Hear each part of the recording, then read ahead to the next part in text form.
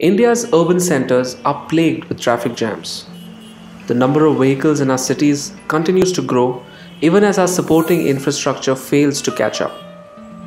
To curb traffic, all major cities are investing in metro rail projects. But metro takes a lot of time to build. What do we do until then?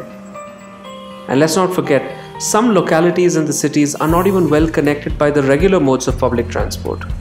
It could be due to a lack of demand or because of narrow roads. So then, what is the way out of this problem? Enter carpooling.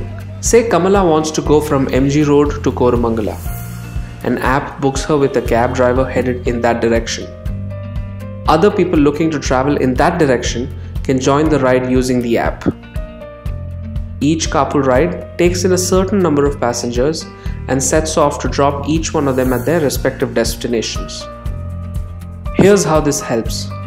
Since carpooling allows multiple people to share a ride, this can, over time, help take a lot of the private vehicles off the streets. In the long run, this would mean lesser traffic on the roads, solving a major problem in our large cities that today seems beyond us.